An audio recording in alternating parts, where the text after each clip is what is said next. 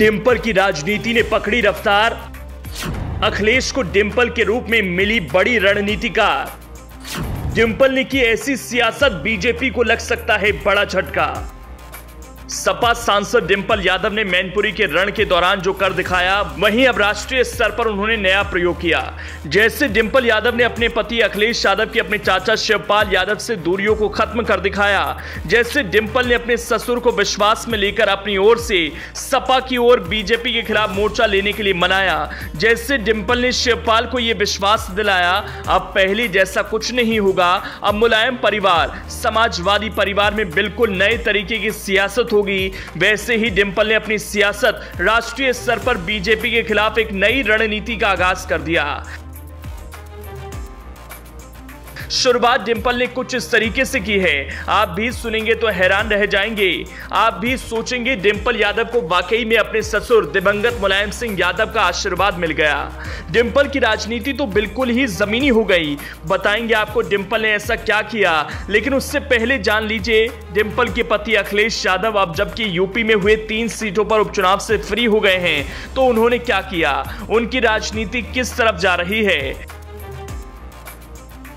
सपा प्रमुख अखिलेश यादव मैनपुरी लोकसभा सीट पर हुए उपचुनाव में भाजपा को मात देकर बेहद आत्मविश्वास से भरे हुए दिखाई दे रहे हैं। रामपुर विधानसभा सीट पर मिली हार के बावजूद सपा प्रमुख अखिलेश यादव द्वारा, पत्नी डिम्पल यादव द्वारा लोकसभा पहुँच जाने के कारण राहत महसूस की है। इसकी झलक अखिलेश के इस नए रूप के ज़रिए सामने आई, जब दिल्ली में केसीआर के साथ दिखे। भारत राष्ट्र समिति के अध्यक्ष और तेलंगाना के मुख्यमंत्री के चंद्रशेखर राव ने दिल्ली में पार्टी मुख्यालय का उद्घाटन किया। उद्घाटन समारोह में समाजवादी पार्टी के वरिष्ठ अखिलेश यादव और जेडीएस के वरिष्ठ नेता एच डी कुमार स्वामी भी मौजूद रहे। केसीआर की पार्टी ने कई किसान संगठनों को भी कार्यक्रम में बुलाया था। अखिलेश जब केसीआर से मिले तो सियासी गलियारे में चर्चा होने लगी। जिस तरह से अखिलेश ने 2022 के विधानसभा चुनाव में गठबंधन का गुलदस्ता बनाया था, ठीक उसी तरह अब अखिलेश 2024 में एक टीम बनाने की तैयारी कर रहे हैं। क्योंकि आज दिल्ली में अखिलेश ने जिन नेताओं के नाम लिए, उनमें बिहार के सीएम नीतीश कुमार, पश्चिम बंगाल की सीएम ममता बनर्जी, तेलंगाना के सीएम केसीआर का नाम शामिल है। अगर यूपी को मिलाकर इन सभी राज्यों की सीट को जोड़ दें तो लोकसभा की एक तिहाई होती है।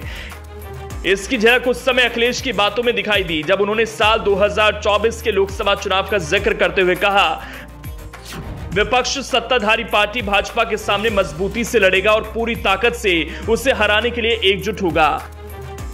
अखिलेश यादव ने कहा कि केंद्र की सरकार विपक्ष को खत्म करना चाहती है, लेकिन विपक्ष उतनी ही मजबूती के साथ उनके सामने डटा हुआ है और उन्हें चुनौती दे रहा है। अखिलेश यादव से 2024 के चुनाव में विपक्ष के नेता के बारे में सवाल किया तो उन्होंने कहा कि इसकी हमें कोई चिंता नहीं है। बंगाल के मुख्यमंत्री ममता बनर्जी, बिहार के सीएम नीतीश कुमार और तेलंगाना के सीएम केसीआर इस विषय पर काफ़ी गंभीरता से काम कर रहे हैं और 2024 के पहले ही विपक्ष के सशक्त नेता को खोज लिया जाएगा। जिसकी अगुवाई में सपा, रालोद, राजद, तृणमूल, जदयू, केसीआर की पार्टी, भारत राष्ट्र समिति समेत कई दल एक छतरी के नीचे आकर भाजपा को हराने के लिए काम करेंगे। डिम्पल यादव को शपथ दिलाने दिल्ली पहुँचे अखिलेश यादव ने नीतीश, ममता और केसीआर के साथ आगे बढ़ने के संकेत देकर अपने इरादे साफ़ कर दिए कि अब अखिलेश की नज़र 2024 पर है और इसके लिए अखिलेश अब उन तमाम सहयोगियों को अपने पाले में करने में जुटे हैं।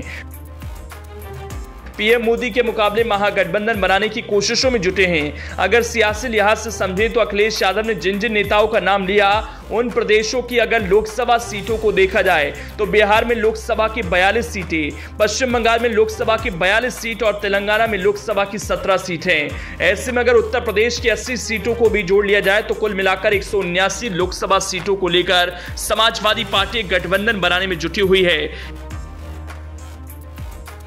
यानी लोकसभा की एक तिहाई सीटें अकेले इन चार राज्यों में हैं। लेकिन सबसे बड़ी बात यह है कि इन राज्यों में कांग्रेस लगातार हाशिए पर है।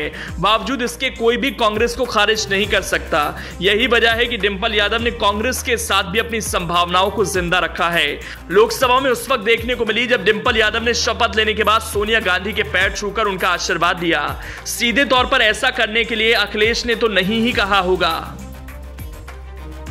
यानी साफ़ है कि डिंपल ने सोनिया के पैर छूकर आशीर्वाद लेकर ये संकेत दे दिए कि बीजेपी के खिलाफ विपक्षी एकता के लिए कांग्रेस का साथ होना ज़रूरी है। ऐसे में सवाल यह है कि डिंपल की तरफ़ से 24 के लिए मिले संकेत को कांग्रेस किस तरह से लेती है?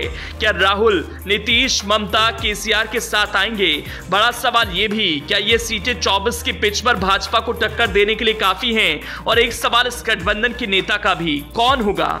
यह अपने आप में सबसे बड़ा सवाल है। इन सवालों के बीच एक बात तो है, डिंपल ने अपनी राजनीति की रणनीति का इस्तेमाल अखिलेश की राजनीति को मज़बूत करने के लिए शुरू कर दिया है।